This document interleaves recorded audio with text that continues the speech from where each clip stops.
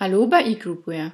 Damit Sie eGroupware in Zukunft noch effizienter nutzen können, gibt es ab Version 14.2 mehrere neue Funktionen.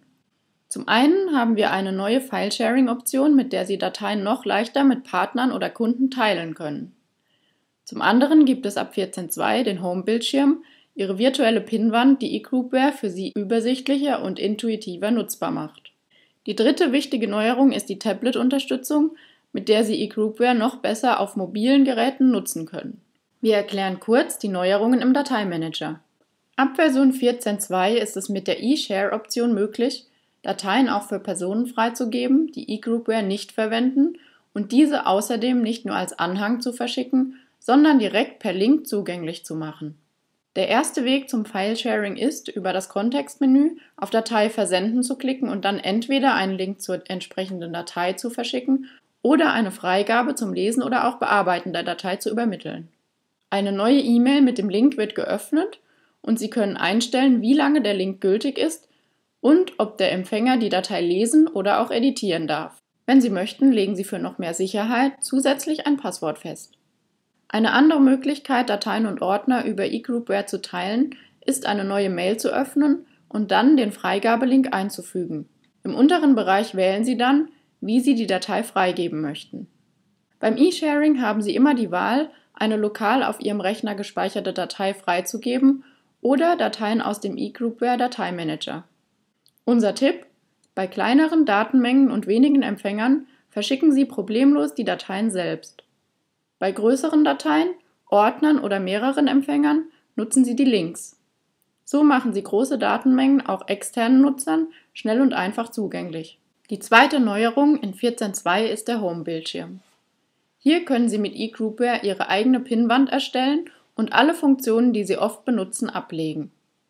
Um zum Beispiel bestimmte Infolog-Einträge immer griffbereit zu haben, lege ich meinen entsprechenden Favorit per Drag and Drop in Home. Kontakte, die ich häufig brauche, ziehe ich genauso auf den Home-Bildschirm. Auf dem gleichen Weg kann ich im Kontextmenü verschiedene Optionen wählen, die ich im Home haben will. So lege ich zum Beispiel auch einen Kalenderfavoriten in Home. Alle Pinnwandfenster kann ich in der Größe beliebig verändern. Über den Pfeil links oben im Favoritenfenster passe ich die Ansichten an.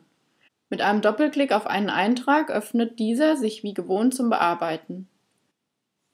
Zum Editieren oder Löschen eines Pinnwandfensters klicke ich mit rechts auf dessen oberen farbigen Rand. Als Administrator legen Sie ganz oben in Home eine Nachricht für alle Mitarbeiter an, die Main Screen Message. Hier können Sie zum Beispiel wichtige Neuigkeiten oder hilfreiche Links platzieren. Sie haben jetzt bereits zwei wichtige Neuerungen der Version 14.2 kennengelernt: File-Sharing und Home. Die dritte Weiterentwicklung in 14.2 ist die Tablet-Unterstützung. Wir zeigen Ihnen hier die wichtigsten neuen Funktionen. Das Menü öffnen Sie über den Button links oben.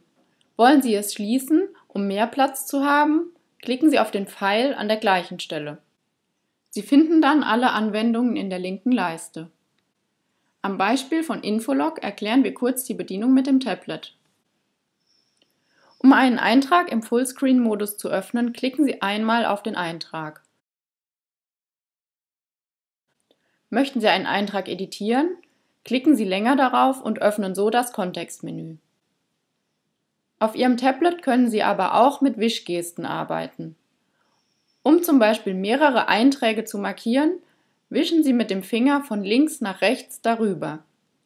Dann können Sie über das Kontextmenü alle gewählten Einträge bearbeiten. Wenn Sie Ihr Tablet drehen, passt sich die Ansicht automatisch an. Die Menüleiste befindet sich dann oben also immer auf der kurzen Seite Ihres Tablets. Nun kennen Sie die drei wichtigsten Weiterentwicklungen in 14.2, File Sharing, Home und die Tablet-Unterstützung.